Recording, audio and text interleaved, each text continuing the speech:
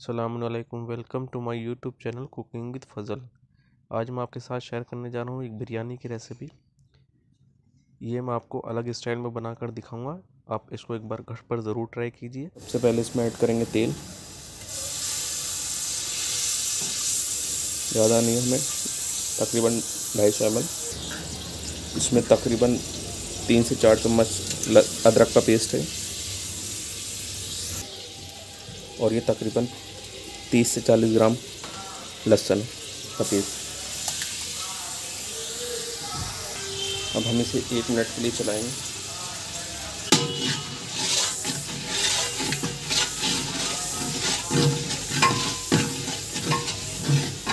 में कुछ हम साबुत गरम मसाला डालेंगे। ये 10 से 12 हमारे पास जो है, हरी इलायची है, ये एक चम्मच हमारे पास काली मिर्च और ये 15 से 20 हमारे पास लौंग है, एक बड़ी इलायची और दो टुकड़े।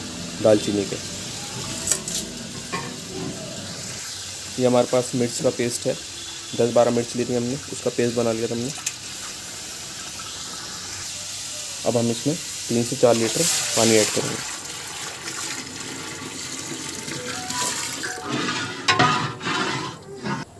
ये हमारा चार के जी चिकन है, वो भी हम इसमें डाल देंगे। और इसे मिक्स कर लेंगे। ये हमारे पास सही है।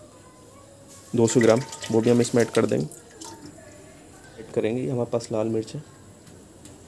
लाल मिर्च पाउडर हम इसमें ऐड करेंगे। अब हम इसमें जो है वो नमक ऐड करेंगे। नमक पेस्ट अकॉर्डिंग डालना। और इसे अच्छे से चला देंगे। हम देख लेते हैं, हमारी अखंड हमारी बोतल जल गई है। अब हम इसकी फ्लेम को ऑफ़ कर देंगे। इसमें हम ऊपर से लाल मिर्च पाउडर डालेंगे, साइडों में। आप अपने टेस्ट के अकॉर्डिंग डालना। जितनी आपको तीखी पसंद हो, उस हिसाब से। इसमें हम फ़ूड कलर ऐड करेंगे ऊपर से। हमने इसे भिगोए नहीं था।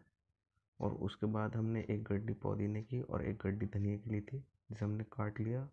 वो हम इसमें साइडों में लगाएँगे। साइडों में डालेंगे। ये ऑप्शनल है, आप चाहे तो इसे स्किप कर सकते हैं। इससे टेस्ट बहुत अच्छा आ जाता है बिरयानी का। ये हमने देग में चावल चढ़ा दिए ये हमारे चार किलो चावल है। हमने इसे बॉईल करेंगे। हमने हल्की आँच पर रखे हैं इसे। चावलों में जब हम नमक डालते हैं तो थोड़ा तेज़ होता है नमक। इस हिसाब से हम डालेंगे।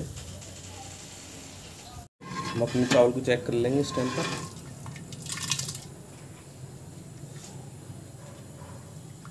तोड़ के देखेंगे। ये हमारा एट्टी परसेंट हो गया।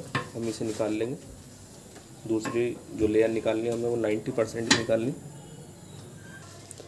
अब हम इसके चावल को निकाल लेंगे।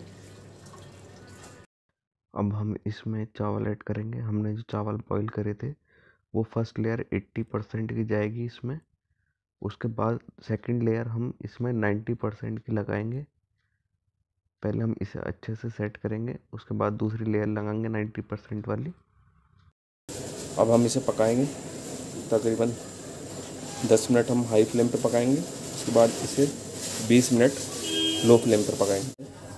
चेक कर लेंगे पानी है तो ये बिल्कुल साफ़ है। इसका पानी खुशक हो चुका है। अब मैं आपको इसे चला के दिखाता हूँ।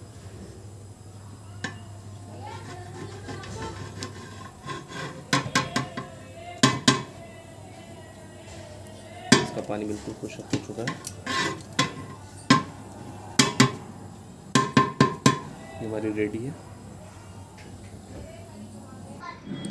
ऊपर से मोई डाल देंगे इसमें।